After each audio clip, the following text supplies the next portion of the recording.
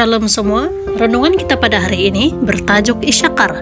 Dalam kejadian 49 ayat 14 dan 15 menyatakan, Isyakar bagai seekor kelda yang tegap merunduk di antara dua kantung pelana. Apabila dia terlihat tempat rehat yang baik dan sebuah negeri yang menyenangkan, dia akan membongkokkan bahunya untuk memikul beban lalu menjadi buruh paksa.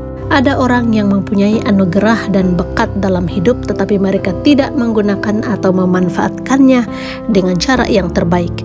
Mereka mampu memikul beban tanggung jawab yang berat, tetapi malangnya berada dalam John selesa mereka. Inilah perwatakan Isyakar. Bapaknya menggelarnya keldai kuat teguh dan kuat, dia boleh menjadi kaya, memperbaiki keadaan rumahnya, dan juga menjadi pemimpin jika dia menggunakan kekuatannya dengan betul. Tetapi apabila dia mendapat keselesaan, keseronokan, dan peluang untuk hidup dengan baik, dia berpaut padanya. Dia sebenarnya boleh menggunakan kekuatannya untuk dirinya dan keluarganya, sebaliknya ia gunakan untuk orang lain. Menurut Yosua 19 ayat 17 hingga 23, tanah yang diberikan kepada suku Isakar adalah wilayah antara lembah Yordan dan lembah Yizril Timur. Ini adalah salah satu kawasan terhijau dan terkaya di seluruh Israel.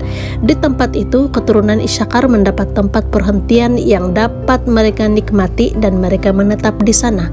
Isakar tidak lagi memainkan peranan utama di Israel Suku itu boleh menyediakan askar dan barangan untuk membantu suku lain, tetapi mereka kekal dan tidak pernah meninggalkan John selesa mereka.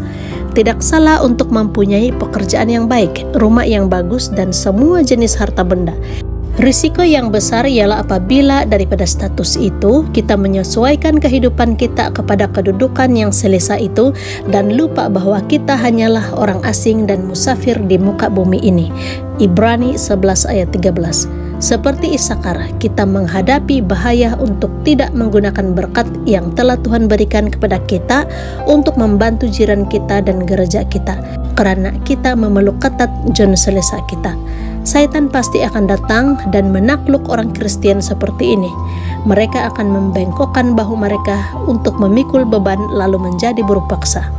Demikianlah renungan kita pada hari ini. Tuhan memberkati.